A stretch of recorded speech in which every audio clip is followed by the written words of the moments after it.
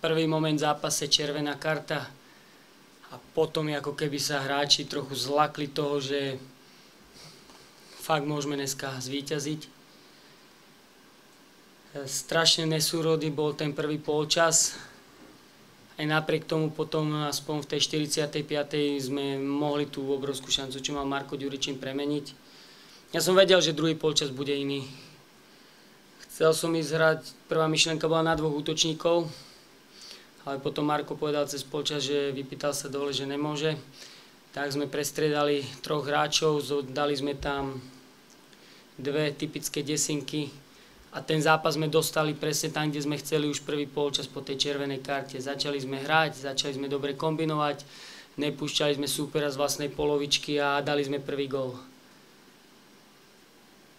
A potom ten zápas mal byť ďalej v našej réžii a my sme dali obrovský darček dneska tomu súperovi v podobe najskôr pokazenej prihrávky, potom penalty a namiesto toho, aby ten zápas sme kontrolovali a, a skúsili pridať druhý, možno aj tretí gól, verím, že by sme dali, keby, keby sme sa dostali na konia. Tak je jedna jedna. Dosť kľúčové si myslím, že boli aj situácie, ktoré sme nepremenili, lebo keď hráte play-off a tam ide o všetko, potrebujete byť efektívni a to sme v dnešnom zápase takisto neboli. A také šance, ako dajme tomu Brvno OK, ale teraz na konci z pár metrov Erik Daniel by mal premeniať a ten zápas by sme vyhrali. Takto je všetko otvorené do odvety, budeme, budeme bojovať, nebude to ľahké, ten super dneska ukázal tú kvalitu aj v desiatich, to čo som hovoril, že veľmi dobrých stredových hráčov majú, ktorí vedia kombinovať, udržať sa na lopte a s oveľa silnejšími supermi to dokázali mať to držanie lopty ako sme my. A, ale som veľmi smutný, som sklamaný, lebo neviem, takúto šancu tá sa vám vyskytne možno raz za kariéru a my sme ho nevyužili dneska. Takže musíme bojovať v tom domácom zápase, je to, je to len polčas a, a urobíme maximum preto, nebudeme sa vzdávať, urobíme všetko preto, aby sme skúsili postúpiť. To si musím všetko premyslieť, musím si to zanalizovať, ako ten zápas vyzerá, aj keď to bude teraz veľmi skreslené, pretože tam bola červená karta, ale mal som aj nejaký zámer v tom prvom, v prvom zápase aj v druhom, že možno trošku inak budeme hrať, ale eh, veril som to naše víťazstvo dneska. Áno, pretože majú, myslím, že najlepší stoper sa vykartoval, veľmi dobrý ten stredový hráč, ktorý aj dneska hral veľmi dobre, aj keď aj z krídla on sa vykartovali. Takže áno, je to také malé pozitívum tohto nevydareného večera pre nás.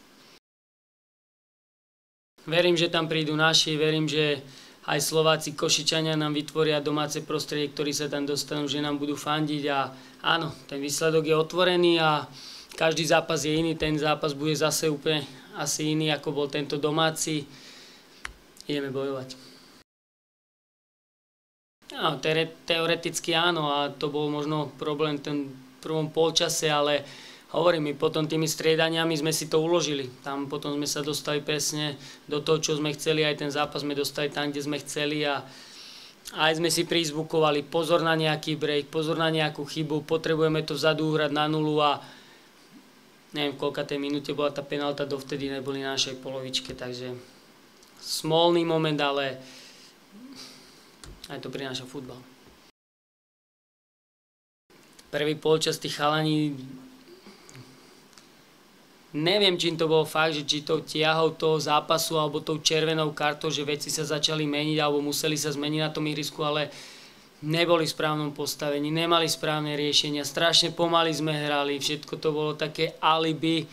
Uh, a možno aj tá typológia hráčov, že keď tam ide Oseny Štefánik na miesto Bukatu Prochyho, tak určite vám potre- alebo je jasné, že vám niečo zmenia.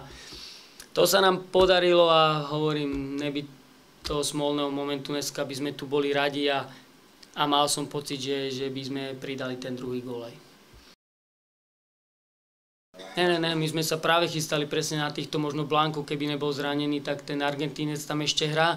a tento v podstate Rubčínsky môže hrať buď v strede, alebo sa posunie na to ľavé krídlo, ale on hrá v podstate ako desinka stredový hráč, takže presne na týchto sme sa, na týchto troch hráčov aj osmičku e, tohto, tohto toho defenzívneho, už mi aj vypadávajú mená, Blanko, Babenko, pardon, Babenko, takže na týchto sme sa presne chystali a to je, hovorím, že taký kľúč, že ich potrebujete eliminovať a ukázali tú kvalitu aj v desiatich, lebo oni nehrajú úplne v takom systéme, skôr mám pocit, že hrajú také, také, také, takú obrovskú voľnosť, majú, prebehujú krížom, krážom, udržať sa, vedia na tej lopte a potom to je ťažké brániť. No, ukázali to fakt aj v tých desiatich. Tak hovorím, tie tri, tri striedania nám pomohli zmeniť, áno, áno, a, a v podstate potom, potom už som, hovoril som na lavičke, že ideme v chceme vyhrať, proste cítil som, že potrebujeme dať ten gól, aby sme, aby sme mali väčšie šance na ten postup. A, najradšej by som hral na dvoch útočníkov, ale ďalšieho útočníka už som nemal. Takže potom sme, potom sme v podstate ešte aj Mikio stiahli dole, aby, aby v podstate Erik Daniel, chcel som dostať do hry Azanga, ale nemal som ho na miesto koho, pretože aj Ofori som vedel, že je zápas z momentu, aj keď nemal úplne najlepší zápas, ale viem, že je, je kľúčový a má tú kvalitu a dneska ju tam aj dal pri tom góle. Erik Daniel tiež hral dobre, ale chcel som ho tam dostať ešte na oživenie Azanga, tak potom išiel Erik Daniel ako keby podpora z, tej, z toho spodku Bajnovic zase mal nám niečo ešte nové možno priniesť a tiež úplne dobre neadskočil Takže také, také boli už potom tie riešenia na konci. Na konci ešte potom som poslal Erika Daniela úplne náhrod, že, že tam budeme iba v troch stať, keď im vylúčil druhého hráča že tam možno s tým Azangom oforím ešte na tých wingbackoch budeme a to už bola taká, taká improvizácia a už sme sa nedokázali tam úplne dostať, oni stáli v 8 v línii v podstate, čo už není úplne ľahké prekonať, tak my sme hrali takú hádzanú a to neprinášalo žiadny efekt. Povedal, že sa mu ťažko dýcha, že sa nemôže nadýchnuť a tam je stále problém, že není dotrénovaný, máte takéto teplo, hráte v intenzite, tak um, môj predpoklad je, že, že je to takéhoto skôr kondičného rázu. Ťažko povedať, tak zajtra bude mať vyšetrenia všetky, tak verím, že, že bude v pohode, ale to je škoda, pretože on je zase taký hráč momentu, aj mal ten moment v tej 45. minúte, potom mal v tom hadzovaní, že toto on premienal. Toto bol fakt z metra, metra a pol a na dva razy to tam nedokázal dať, čo je veľká škoda. Trošku nejakých, nejaké mená tam zmenili, ale nebol to v tom strede, tých stredných stredových hráčov, ale skôr som mal pocit, že tie kraje viacej zatvorili, že, že dali tam napríklad na ľavej strane dvoch trošku viac defenzívnejších hráčov, ako hrávajú, čiže chceli nám možno tú našu silnú stranu pravú si postrážiť a tam som videl, že možno, samozrejme, keď ste v kríze, tak sa potrebujete od niečoho odraziť do tej defenzívy a oni vedia, že majú tú kvalitu dopredu v tom, v tom držaní lopty, takže tam som niečo videl inak. Neprekvapili nás ničom, skôr teraz bude ťažká príprava, pretože oni si odložili ligu, majú voľné v podstate 7 dní na to, aby sa nachystali a budú mať pravdepodobne nového trénera, či ten Španiel alebo niekto iný tam dojde, takže mm, v podstate neviem na čo sa mám chystať, pretože sa chystáte na niečo nové, takže skúsime sa pripraviť čo najlepšie na nejaké varianty, ktoré môžu nastať v tom zápase, ale ideme trochu viac do neznáma teraz. A bude veľmi ťažký, hovorím. Teraz, teraz sme v nevýhode, pretože môžu veľa vecí zmeniť za týždeň, môže nový tréner fakt tam priniesť kopec nových vecí alebo nejaké stačí dve, tri a my nebudeme na začiatku vedieť na ne reagovať, lebo sa na ne nemôžeme nachystať. V tomto majú určite výhodu. Nás čaká medzi tým ešte ligové kolo e, v Skalici, ktoré potrebujeme odohrať. Že sa to hrá na neutrálnej pôde, OK, ani oni tam nebudú doma, možno verím, teda to, čo som hovoril, že tí ľudia nás prídu podporiť väčšiu teda tú podporu tam budeme mať my. Tie šance sú stále 50 na 50, je to fakt, ako sa hovorí, ten polčas za nami. Len si myslím, že obrovskú šancu sme dneska nevyužili na to, aby sme zvíťazili v tomto zápase. Pokiaľ bude efektívny, tak to je presne to, v čom sa zlepšil to zakončenie, pretože on má výborné driblingy, vie, vie jeden na jedného, dokonca jeden na dvoch, ale potrebuje tú finalizáciu zlepšiť a práve teraz ju mal aj pred tým zápasom a pomohol nám gólmi a nádhernými gólmi, takže toto keď si udrží, tak bude, bude tá kvalita ešte vyššia.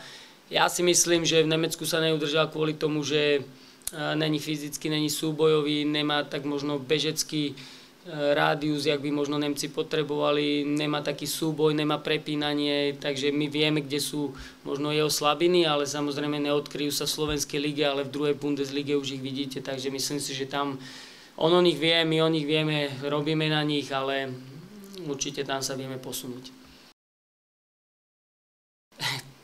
Ako toto je play-off a nečasto tu tréneri v play-off striedajú troch hráčov, pretože to sú tak dôležité zápasy, že tom prvom polčase snažil som sa vstúpiť do toho zápasu cez pitnú prestávku. Hovoril som, niečo sme tam aj zmenili, nejaké postavenia, ale, ale tí hráči si nedokázali kvalitnejšie prihrať. To hovorím, neviem, či to bola tá ťarcha toho zápasu, alebo možno tá červená karta, že niekedy to fakt není výhoda, ale bola to výhoda, obrovská výhoda. Um, vedel som, že keď bude kľud, cez polčas si to uložíme, spravíme nejaké stredanie, že nám to pomôže. To bolo v pohode, pretože ten zápas išiel podľa nášho scenára ten druhý polčas, len nemalo prísť k tomu, čo prišlo a nemali vyrovnať. Určite zostáva favoritom a dneska sme ich mohli mať na lopate toho favorita, ale hm, tam vidíte, aj dneska ste videli, určite každý to videl, že tú kvalitu majú a my keď potrebujeme alebo chceme postúpiť cez takého súpera, my potrebujeme 10, 10 frajerov na ihrisku, ktorí dajú 100%, pretože svoje výkonnosti. To, čo bolo s Lechom, možno s Lechom bolo 110-120% niektorí hráči a preto sme cez Lech postúpili. A dneska, keď nám niektorí hráči ne, nezahrajú úplne, nenaskočia dobre, tak je to cítiť s takto kvalitným mužstvom ten zápas nemohol byť ako Lech. Hrali ste, hrali ste s iným súperom, hrali ste play-off, hrali sme prvý zápas doma, hrali ste uh, vo veľkom teple, tam bolo jasné, že ten zápas úplne nebude vyzerať ako s Lechom. My sme sa snažili skôr mústvo cez tú prestávku ukludniť, dať si tie taktické pokyny, to postavenie na tom ihrisku, aby bolo lepšie a tie riešenia tých situácií, aby boli lepšie, ale to bolo OK, ale to sme videli od prvej minúty, sme zahrali dobre štandardku, ulietávalo nám to, mali sme nacvičené nejaké signály, ani sme sa k ním nedostali, lebo tí chalani ich neišli robiť, proste neboli sme to my, ne, niektorých tých hráčov som úplne nespoznával, asi to bolo tým, že to je play-off, že každému na tom strašne záleží a, a tam potom potrebujete obrovské hrácké skúsenosti a tie veľa hráčov z nás ešte nemá s takýmto zápasom to bolo to, čo som hovoril už na konci potom, že už sme išli viac menej Koša, Štetina, Koštrna ako keby traja a tlačiť sme sa chceli viacej do 16 a, a ja nedá sa ukričať. V tejto atmosfére sa to nedalo ukričať a úplne do toho vstúpiť. Ja by som si predstavoval možno viacej tých centrovaných lopt a možno viacej hrať vertikálne niekedy, lebo my sme, my sme z toho spravili hádzanú a Čakali sme možno na, na nejakého voľného hráča, ktorý samozrejme nebude, keď vám super stojí v 8 v línii na 16. To je v podstate, ak my, končili ten zápas s Lechom a, a oni to viac menej iba nakopávali. Myslím si, že aj my sme mohli viacej možno ísť cez takú silovosť a nie len cez krátke prihrávky, ale potom tam čakáte a ja ako tréner čakám, že niekto to zobere na seba. A fakt v dnešnom zápase som cítil možno len dvoch hráčov, že Erik Daniel to mohol zobrať na seba a Euphoria a nakoniec aj tam vykombinovali cez tú pravú stranu a, a možno keby dal Erik na 2-1 v tej 90. neviem koľkej, 5. alebo 7. možno tak. Dneska tu máme všetci úsmev, tie, tie percenta toho postupu sú zase naklonené na našu stranu, ale takto OK, sú 50 na 50, ale čelíme kvalitnejšiemu mústvu, jak sme my.